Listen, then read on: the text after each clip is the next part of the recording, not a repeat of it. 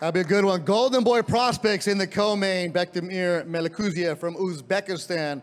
David Stevens, Reading, Pennsylvania. Also in Texas now. That'll be a good one where Golden Boy puts their best prospects against each other. That's good matchmaking right there. Where, as Oscar says, if you want to get to the next level, you got to fight what's in front of you, and you'll see that on the co-main. Of course, the main event is going to be Kid Austin, Floyd Schofield, and Rene Tellez Giron from Mexico. But right now, we're going to be joined by David Stevens, who's walking up right now. David, you got this opportunity.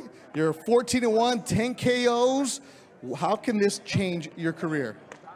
You know, it's it's just career change. You know, getting a win over a tough, you know, bully type, you know, opponent is career changing, especially in the fashion that I'm expecting to do it in. You know.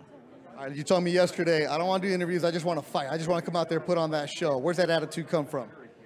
I mean, you know, in my city, you know, we don't do a whole lot of talking. You know, where I'm from, we do, you know, we, we show it. You know, you either show it with your hands or some other shit. You know what I mean? You come from a tough background. We've heard your stories. We've told them many times about where you're coming from to where you're at right now. A lot of people, you said tough city, wouldn't even give you the opportunity to say he's going to make it to Vegas and fight on these kind of shows. For the people who've doubted you, what it message you have for them?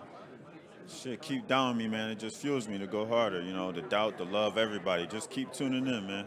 As long as you tune in, because David Stevens always puts on a good show. Good luck to you tomorrow. Yes, sir. Yes, sir. I appreciate you, David Stevens, representing Philadelphia, Reading, Pennsylvania, now in Texas. Joe, you ever been to Hershey, Pennsylvania? I can't hear anything. I can't hear anything up here. The crowd's going wild, Beto. No, there you go. There you go. Go for it, Joe.